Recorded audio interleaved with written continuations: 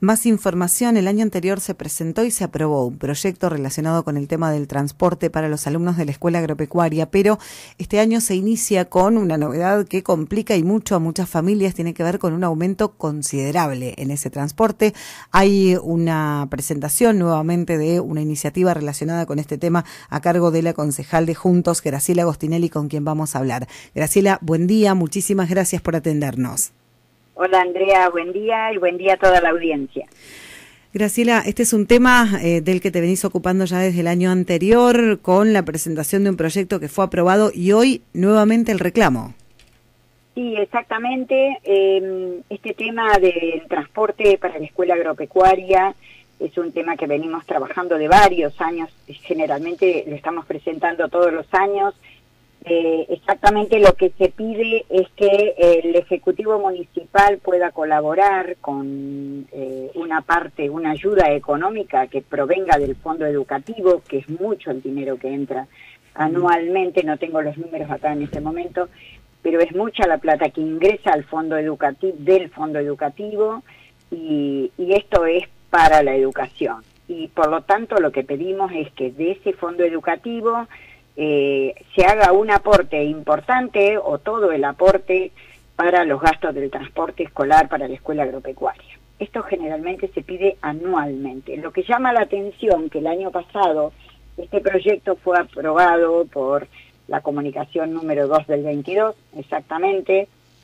fue aprobado, pero los padres sostienen que no se cumplimentó, que no lo llamaron, que no se los comunicaron, nosotros a mucha gente le pasamos este, la ordenanza donde fue aprobada y aprobado el proyecto, y pero bueno, este, vos sabés que hay gente que, que tiene miedo de, ir a reclamar porque se considera que si está aprobado se debe cumplimentar. Yo creo que no les corresponde a los padres que vayan a reclamar nada. Claro. El municipio, si lo aprueba, el HCD fue aprobado este, este proyecto eh, por unanimidad, se debe cumplimentar. Los padres no tienen que ir a reclamar nada, se tiene que hacer, eh, porque es lo que nos corresponde. en este momento a cada familia le sale 8 mil pesos el transporte mensual de cada hijo. Digo de cada hijo porque hay familias que tienen dos, que tienen tres. Y esto, eh, te digo, aproximadamente son 100 chicos lo que, los que asisten este, en porque hacen dos viajes, este, que están asistiendo a la escuela agropecuaria. Es decir, los padres tienen el derecho a elegir la, educación de sus hijos, ¿no? este, la escuela agropecuaria no tiene transporte propio, por lo tanto, eh, esto pasa por los padres. Y bueno, el municipio creo que si nos interesa realmente la educación, este, tenemos que estar ahí presentes y cumpliendo con, las ordenanzas que, salen del HCD.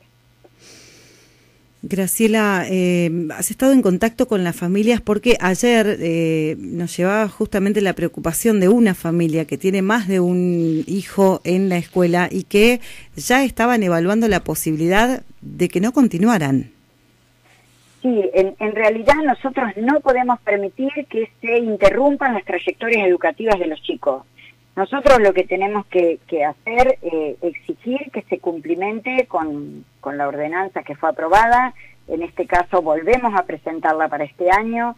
Eh, y, las familias, este, hay familias que obviamente que no pueden pagar con la crisis económica que estamos teniendo, crisis económica, cultural, social, etcétera, etcétera, educativa, ¿no?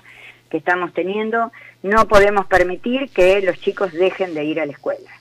Por ese motivo es que ahora a las 11 horas tenemos eh, labor deliberativa, eh, porque hay una, una sesión extraordinaria, ahora 12.30.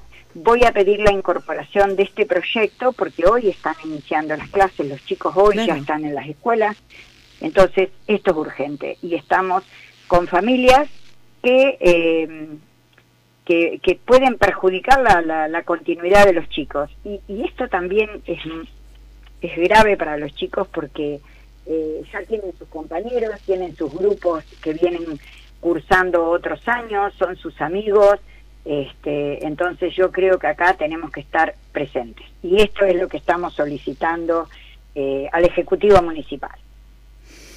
Eh, por supuesto que, el control de, del micro también lo tiene que hacer la municipalidad como corresponde. Este, mm, mm, los requerimientos de, habilitación municipal, todo eso este, también corre por cuenta del municipio que lo supervisen, ¿no?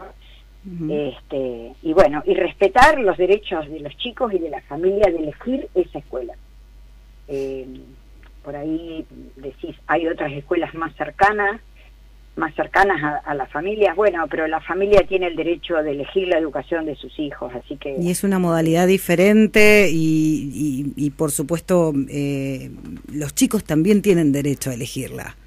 Eh, los chicos, la familia, Y, y, también eh, es, el, o sea, la escuela agropecuaria, como vos decís, es una modalidad diferente y es una, modalidad, nosotros estamos rodeados de, de del trabajo rural, del empleo rural, este, entonces me parece que, esto hay que respetarlo y, es una escuela que, nos hace muchos aportes eh, a, la producción agropecuaria también. Eh, y a la formación integral de los chicos, ¿no? Por supuesto. Graciela, te agradecemos muchísimo por la información eh, y, por la preocupación en este tema. Estamos a disposición como siempre. Sí, muchas gracias. ¿Sabes qué, Andrea? Quería agregar que eh, otro otro tema que me preocupa, que estaba averiguando, es el tema de, mm, viste que en todos los gremios están trabajando con las paritarias, ¿no? Entre mm. ellos gremios docentes, que ayer este, ya hubo un acuerdo, bueno, muchísimos gremios. Eh, pedirle al secretario del sindicato de los municipales, eh, por supuesto que tiene que haber un aumento para los empleados municipales y por lo tanto el IPS debería aumentarle este, como corresponda a, eh, a los jubilados municipales, ¿no? que son muchos. Esta inquietud me ha llegado por un grupo de gente que es jubilada y por supuesto que ni siquiera se están tratando las paritarias. Entonces, este, poner este tema en, arriba de la mesa y empezar a trabajarlo. ¿Eh? Es un pedido que nos están haciendo los jubilados municipales, porque si no hay aumento para los municipales, el IPS, por supuesto, que no le hace el aumento a ellos. ¿no? Claro. Entonces, esto es un pedido también. Bien, gracias. Así que bueno, te agradezco mucho. Muchísimas gracias, como siempre. Que tengas buen día. gracias igualmente. Que Hasta luego. Un lindo día. Bueno, Graciela Agostinelli, concejal de Juntos, hablando de este proyecto que reiteran porque tiene que ver con la continuidad de eh, las trayectorias educativas de aquellos alumnos que eligieron la escuela agropecuaria.